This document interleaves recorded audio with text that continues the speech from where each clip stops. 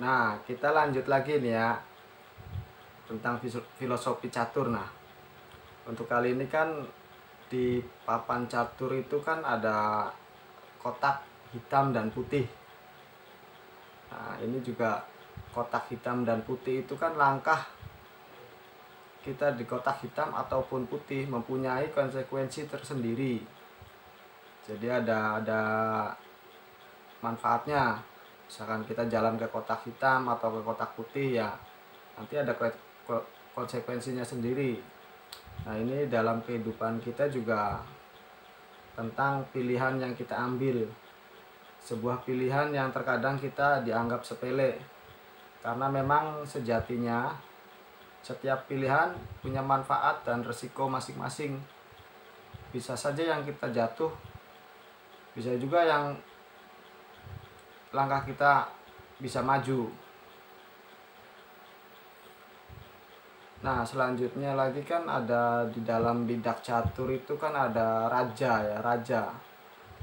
Jadi raja itu peran yang sangat penting. Apabila rajanya mati ya sudah the end. Habis itu permainan catur.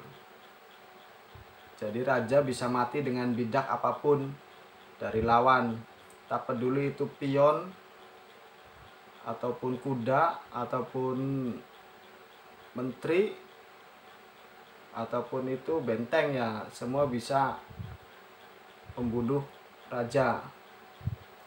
Nah, dalam hal ini juga dalam kehidupan sehari-hari ini tentang penyebab gagalnya kita.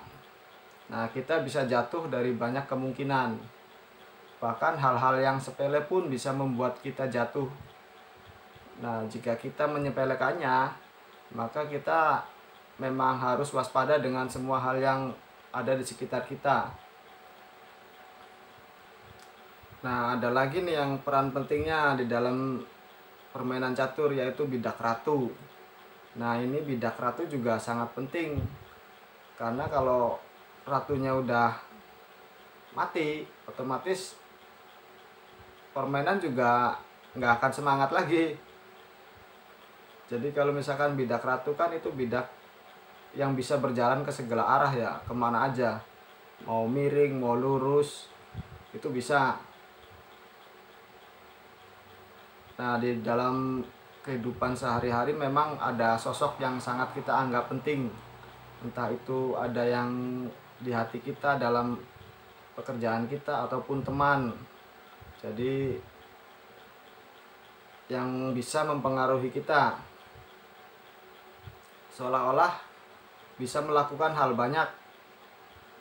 Nah misalkan tidak ada dia atau tidak ada ratu otomatis pekerjaan kita itu kan kayak apa ya gimana kayak tidak semangat lagi.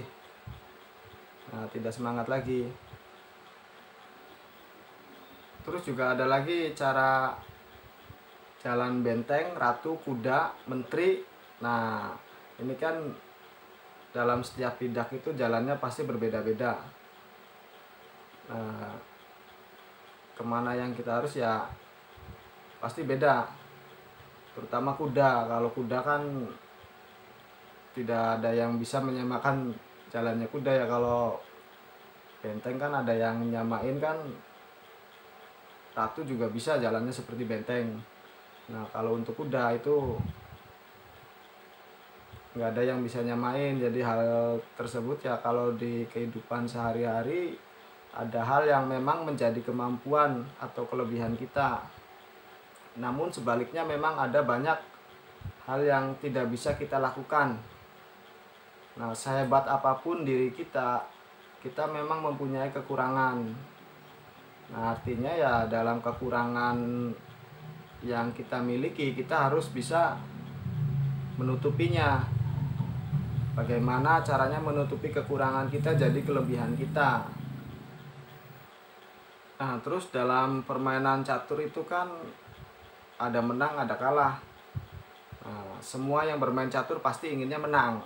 Nggak ada yang ingin kalah. Nah itu artinya kan ya menang atau kalahnya dalam permainan itu kan tentang strategi dan pengalaman kita dalam hidup ini kan kita berhasil ataupun tidak berhasil dalam melakukannya suatu ya memang berkaitan dengan rencana dan strategi kita apa yang kita lakukan yaitu ya planning. Jika kita tidak tidak membuat planning untuk ke depan ya otomatis apa yang kita harapkan pasti sia-sia nah itu sedikit filosofi tentang catur. Ya cobalah. Kalau misalkan itu ya cobalah bermain catur. Biar terasa gimana rasanya bermain catur ya. Sip